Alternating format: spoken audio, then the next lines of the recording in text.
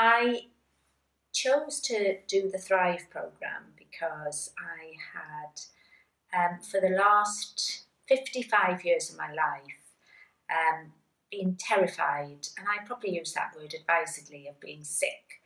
Um, and along with that, I kind of had this anxiety as well about losing people I really cared about because they were the people that supported me or could support me when I was sick. So there was this kind of bound up feeling of being terrified of being sick and terrified of losing people I loved. Um, I've tried several different things over the years um, to help my what I now know is emetophobia. Um, and some of it was group CBT, um, hypnotherapy, range of things, um, counselling, and none of them really had had any impact. So I decided to buy a Thrive book. It sat in on my shelf for two years.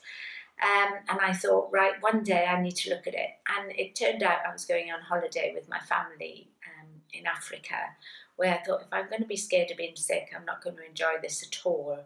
So I thought, come on, let's do it. So I got the book out and started working through it.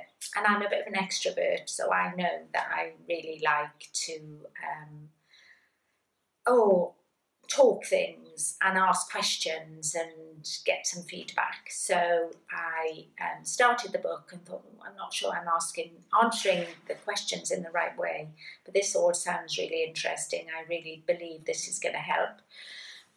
so I found um, a Thrive consultant in my area, Cara, who's been amazing, and um, she has taken me through the program. So, eight weeks on, and post my Africa trip, sporting a little bit of a tan because it is still only March and we've had some cold weather in this country. Um, post Africa trip, I'm feeling so incredibly different.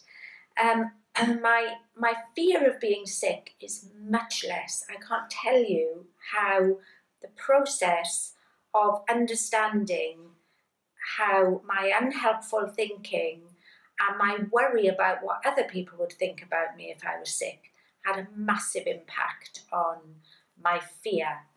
Um, so I set myself some goals before I went away and when I started the program, and I've actually achieved most of them. I still have a little bit of work in progress with my, um, as I call it, vomit phobia, which is so much less now. Um, I feel my degree of anxiety around the thought of being sick or actually being sick and would I cope with being sick has reduced by, I would say, at least 70%, which is phenomenal given I've spent 55 years panicking about going on buses, anybody throwing up in front of me.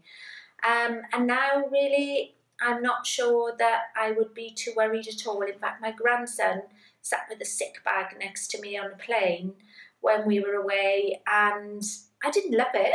I have to be honest, but I thought, you know, if he throws up into this bag, I'll cope.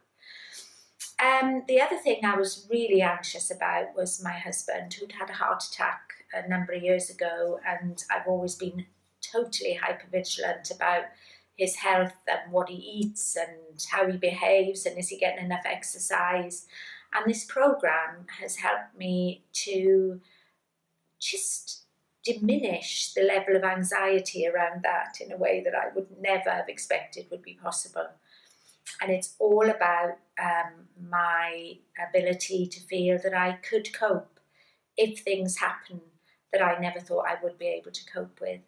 And the other thing it's helped me with hugely as well is my level of self esteem, um, which so I wouldn't have thought it was that low, but when I did the questionnaire, it turned out it was actually quite low. And my level of social anxiety in certain areas, especially around vomiting and the thought of being alone, was very high. And um, so my social anxiety has come down, my self esteem has gone up, and um, all of my kind of levels of anxiety about the things that really caused me problems over the years seem to be, you know, going away.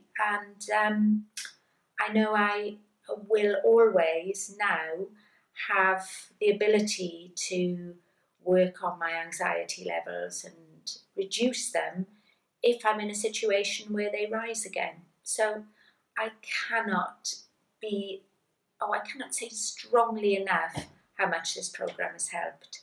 So, um, yeah, that's basically where I'm at now. So, watch this space. I mean, it could be 100% in a couple of weeks' time, but it's getting very close now. Thank you, Cara.